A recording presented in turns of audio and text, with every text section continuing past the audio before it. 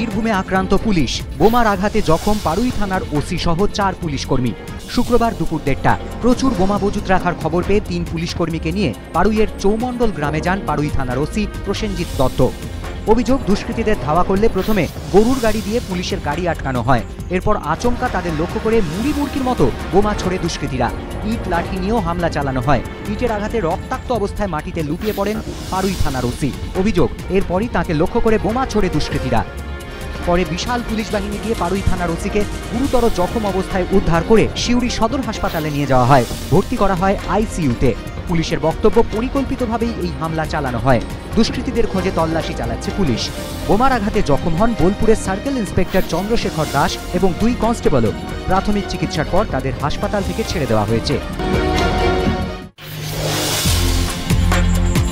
ফের রাজ্যের সরকারি হাসপাতালে চিকিৎসার গাফিলতিতে রোগীর মৃত্যুর অভিযোগ। আরজিকর হাসপাতাল চত্বরে উত্তেজনা। বৃহস্পতিবার রাতে বাইক দুর্ঘটনায় আহত হন নিউটাউনের বছর কুড়ির বাসিন্দা বিপ্লব শিকদার। তাকে আরজিকর মেডিকেল কলেজে ভর্তি করা হয়।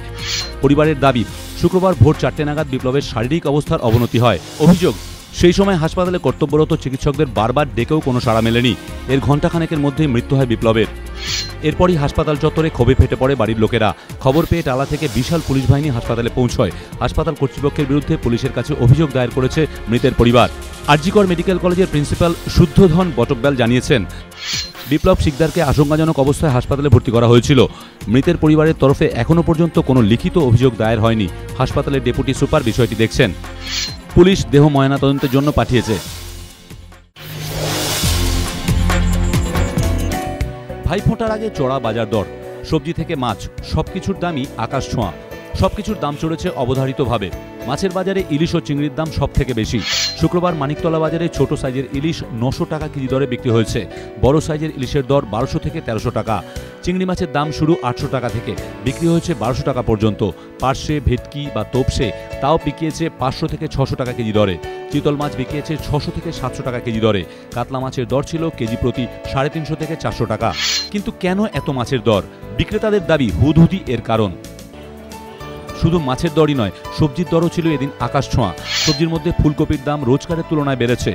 ফুলকপির দাম ছিল কুড়ি টাকা থেকে তিরিশ টাকা। বেগুন, ঝিঙে ও ঢ্যাঁড়স বিক্রি হয়েছে চল্লিশ টাকা কেজি দরে।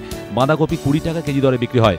মটরশুঁটির দর ছিল কেজি প্রতি একশো কুড়ি টাকা থেকে একশো পঞ্চাশ টাকা পর্যন্ত। শিম বিকিয়েছে আশি টাকা কেজি দরে। চড়া বাজার দরে পকেটে টান ক্রেতাদের। ভাইয়ের কপালে দিলাম ফোঁটা, জমের দুয়ারে পড়ল কাঁটা। শনিবার ভাই ফোঁটা, ভাইয়ের কপালে ফোঁটা দিয়ে মঙ্গল কামনার দিন। তবে মিষ্টি মুখ ছাড়া সেই মঙ্গল কামনা কখনোই সম্পূর্ণ হয় না। তাই পাড়ায় পাড়ায় মিষ্টির দোকানগুলিতে এখন থেকেই লম্বা লাইন। অনেক সময় দীর্ঘক্ষণ লাইনে দাঁড়িয়েও পছন্দের মিষ্টি না নিয়েই ফিরতে হয় দিদি বা বোনেদের। তাই ভাইফোঁটায় ক্রেতাদের হাতে পছন্দের মিষ্টি তুলে দিতে অভিনব ব্যবস্থা করেছে রিসরার এক অভিজাত মিষ্টির দোকান। রেলের রিজার্ভেশন স্লিপের মতো দেওয়া হচ্ছে মিষ্টির বুকিং স্লিপ। ছক্কাটা কাগজে হরেক রকম মিষ্টির নাম। শতাব্দী প্রাচীন হারিয়ে যাওয়া মিষ্টি থেকে হালের ফিউশন মিষ্টি সবই রয়েছে তালিকায়। এইভাবেই চলছে মিষ্টি বুকিং। দশ টাকা থেকে একশো টাকা তালিকায় রয়েছে বিভিন্ন দামের নানা রকমের জিভে জল আনা মিষ্টি। আর এইসব মিষ্টি ভাইয়ের পাতে তুলে দিতে করতে হবে বুকিং। দোকান থেকে মিলছে বুকিং স্লিপ। দোকানের ওয়েবসাইট বা ফেসবুক পেজেও বুক করা যাবে মনপসন্দ মিষ্টি।